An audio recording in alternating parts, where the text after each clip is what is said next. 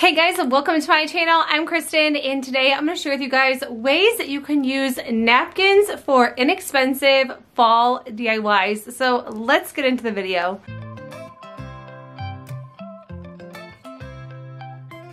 For this first DIY, I'll be using one of these Dollar Tree wooden crates. I've already painted it, but I'm going to be painting it white because we're going to be using some napkins. And honestly, I don't really know any other color that would look good unless the napkin background was different. So I went to Shipshewana in Indiana. It's like a craft show slash junk flea market type thing. And these people had brand new napkins and plates and things like that. So I picked up all of my napkins there. They were all really inexpensive. They're from 75 cents all the way to a dollar 50 a pack, which I think is honestly a steal. They had so many fall ones. So this is just one of them that I picked up. I think all of these in this video actually are from Shipshewana. I did do a, napkin video last year where I used Dollar Tree and Walmart napkins, and I will link that in the description box below if you guys want to come up with some or, you know, see some other ideas. I am not the best at this. So let's just say that this is fully for inspiration. But I think this one turned out cute. You could really cut the holes and make this look more like a crate. But I thought this was so cute. I didn't even want to mess it up because I just really love these pumpkins. And then I just threw some burlap pumpkins in here from Dollar Tree. And that was all I did for this one.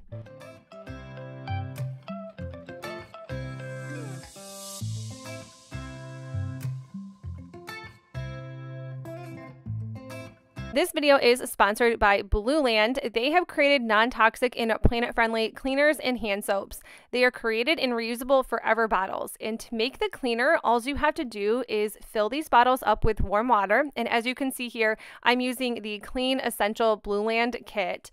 And fill these up with warm water and then you all you have to do is drop in a tablet of concentrated cleaning ingredients. These products are safe for use, super convenient and affordable. I love that they are affordable. These little tablets cost $2 or even less if you buy them in bulk. It can be about $1.55 per tablet which is so inexpensive for cleaning products. I know that I usually purchase cleaning products and they can be from four to five dollars.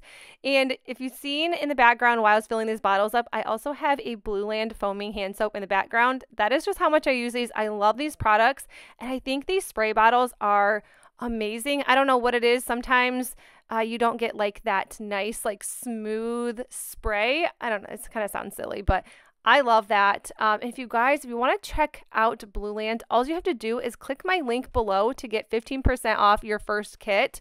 And by the way, Blueland was on Shark Tank. I don't know if you guys watch Shark Tank or not, but it is one of my favorite shows to watch. And if you guys want to guess right, uh, Mr. Wonderful is my favorite. But you guys, if you want, like I said, check out Blueland. Use my link in the description box below to get 15% off your first kit. Next one, I'm just going to be using a sign from Dollar Tree. I think this was last year. If you have any pumpkin signs, grab them now. Do not buy more. When I checked Dollar Tree, they had so many cute items already made. I felt like it was so hard to like purchase any of them this year because I wouldn't want to redo them in any sort of way. But then I also don't want to decorate them with any sort of way. So, anyways, went with one from last year and this thankful napkin with these pumpkins. And I just trimmed it down a little bit and added it to the center of this pumpkin. I'm using Mod Podge for all of these. And I'm sure there's different ways uh, that I'm not doing correctly. Uh, one, I will never take a lighter and light these up no matter what. I am terrified I will burn the house down. It sounds like something that I would do. I have flooded our kitchen. I have glued my foot to the floor. Uh, I mean, there's just been there's just been a few things that uh, I and then I think I almost cut my finger off with a saw once. So you know what?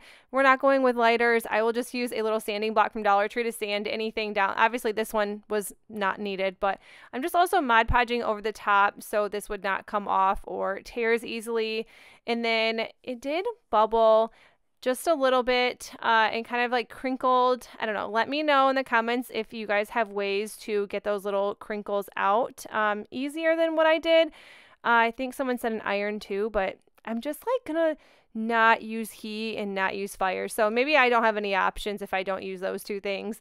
Uh, I'm just using some antique wax by Waverly and dry brushing this. I also used Waverly chalk paint and white to paint the pumpkin, but you could use whatever white you have on hand. Now I'm just using some twine. I just wrapped the stem up and my lighting is a little bad in here because the sun kept peeking through my windows and then kind of going away and I had a ton of shadowing and I couldn't get it to work. I also just ended up using a little boxwood greenery and tying the bottom with twine.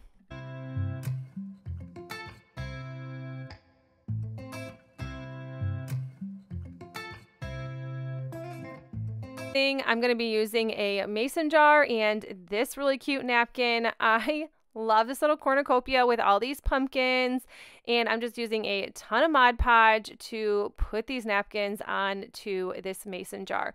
So this looks really bad. I was shocked that it didn't turn out as bad as what it looks now because when I was like putting the Mod Podge over the top and I was like, oh my gosh, this is this is not looking good. Like there's so many wrinkles and creases and places I forgot Mod Podge towards the top. I mean, granted, the top does not look the best, but uh I just added some twine.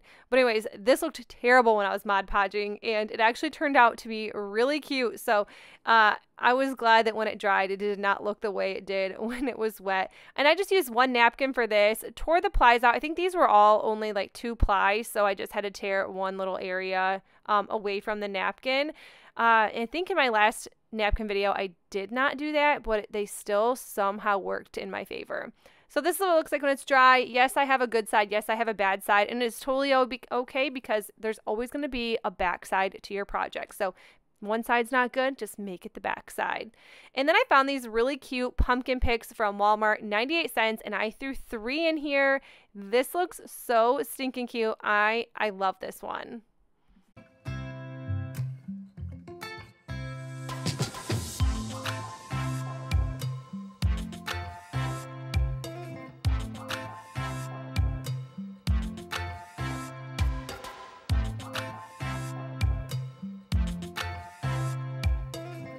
I'm using these 99 cent wood pieces from Michaels and these napkins right here. So this is what the back looks like. It says greenhouse and I did I did not pay that price. Uh, but I love this fall market one and I'm just trying to figure out how to get it inside of this wood piece. Now I'm showing you literally everything. I'm not being hard on myself. I'm not being a Debbie Downer.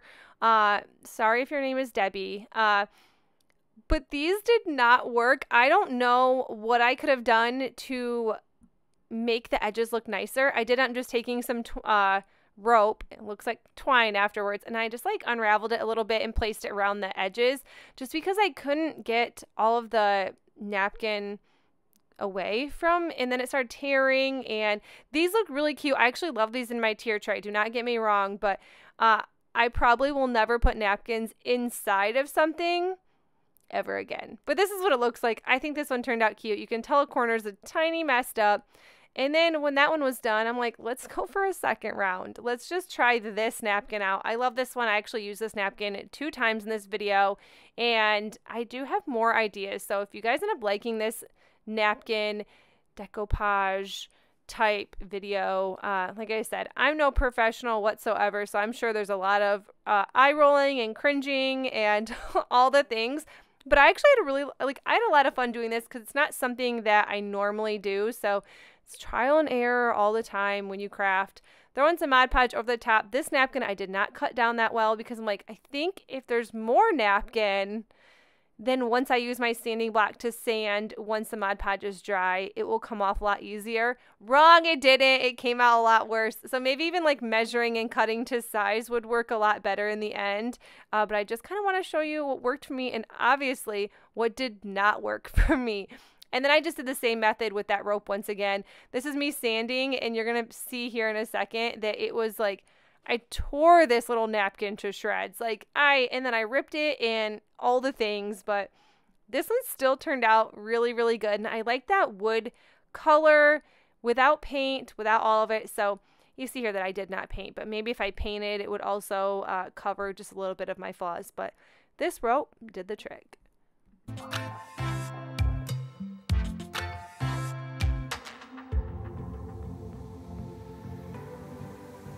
And then one last thing for this, these burlap pumpkins from Dollar Tree are so cute. So I just added one to the corner because that corner was not working in my favor whatsoever. But I'm so glad I added that cute little burlap pumpkin. I think you do so many fun things with these little pumpkins from the Dollar Tree.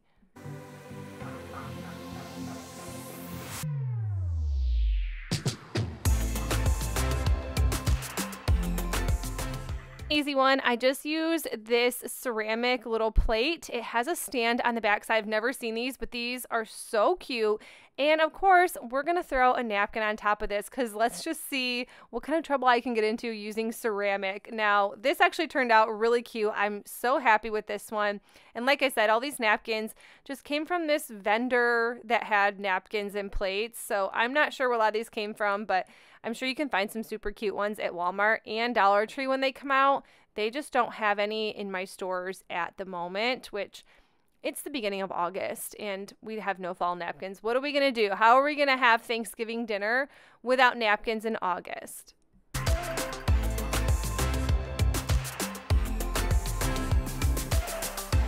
Last one, I was going to do a different type of DIY project. So I painted this little wood house white. This was actually from Walmart after Mother's Day. I was going to do a whole video on Mother's Day items and I never did.